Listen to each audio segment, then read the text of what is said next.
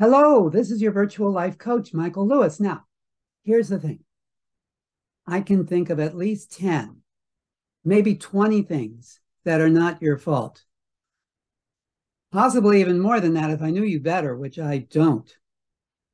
You've done and you're doing the best you can for this particular version of yourself. And what's happened is done. You can't do anything about that. What you can do is the stuff that hasn't happened yet. And for what's coming up, you're going to need the best version of yourself. You're going to need to do two things. Number one, learn from your mistakes. That's what mistakes are for. They're to learn from. Otherwise, they're useless and they just make you feel bad. When this video is done, but not before, I want you to think of one, just one thing that you could have handled better, how you could have handled it better, and decide that if that situation comes up again, that's how you're going to handle it. Okay, number two. In order to become the best version of yourself, you'll need to be at least have a little bit of respect for who you are now. Otherwise, you're not going to feel worthy of getting better. So Stop beating yourself up over the past. I need you to eat better. I need you to do anything medical that you've got going on.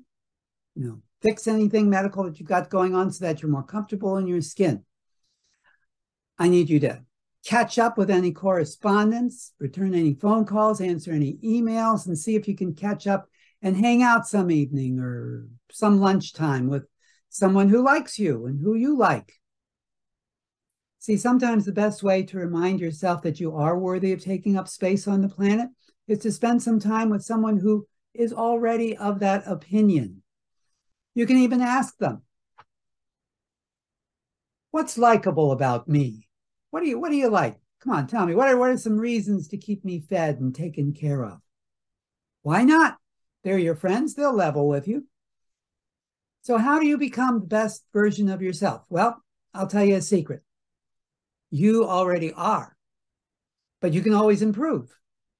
And the first step there is to stop beating yourself up and start taking better care of yourself. Second step is to decide you are worthy of improvement. And the third step is to think of something you want. Could be anything. Could be dance lessons, a new car, learn Portuguese, get a promotion at work, anything. And then the fourth step is to actually take some action, any action toward that thing. Read a brochure about Portugal. Google tap dancing instructors near me. See what cars are available on eBay. Send your boss flowers, whatever.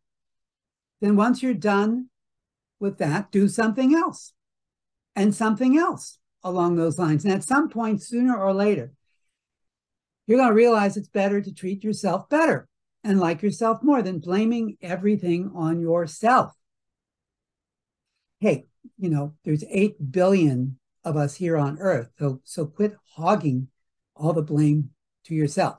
Let us in on some of it too, okay?